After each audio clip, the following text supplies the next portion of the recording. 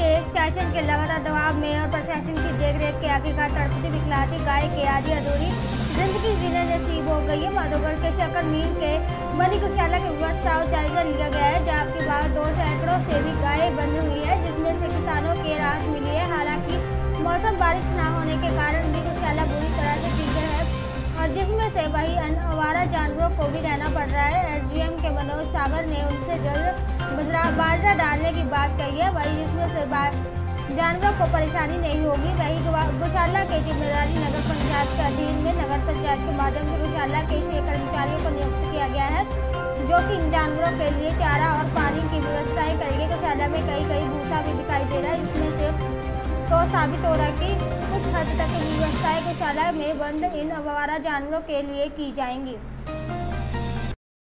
क्या क्या व्यवस्था है आपके यहाँ? बहुत से पानी भी है। कितनी लगभग गायें हैं? दो सौ छिहत्तर है।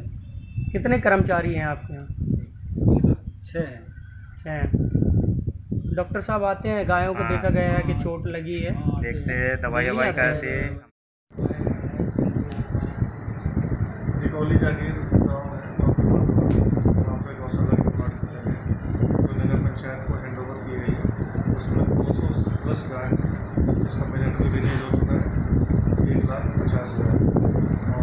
के लिए प्राइम ब्रेकिंग न्यूज़ चैनल को सब्सक्राइब करना ना भूलें और साथ ही डेली अपडेट्स पाने के लिए बेल आइकन को